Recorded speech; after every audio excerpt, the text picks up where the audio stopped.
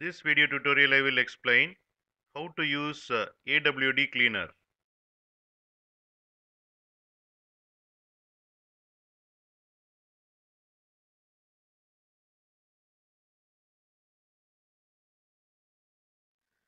Using AdwCleaner, we can remove adware, potentially undesirable program, toolbars, hijacker and spyware.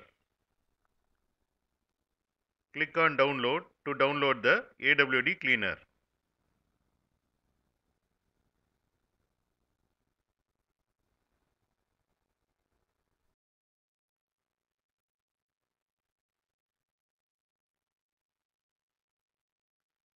Click on uh, scan now button and it will scan the computer and uh, if it finds uh, any malware it will show that and you can remove that.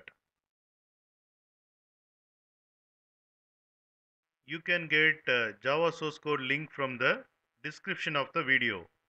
In mobile, to see the description, click on uh, this icon. It will expand like this and here you can see the description. It contains uh, Java source code links.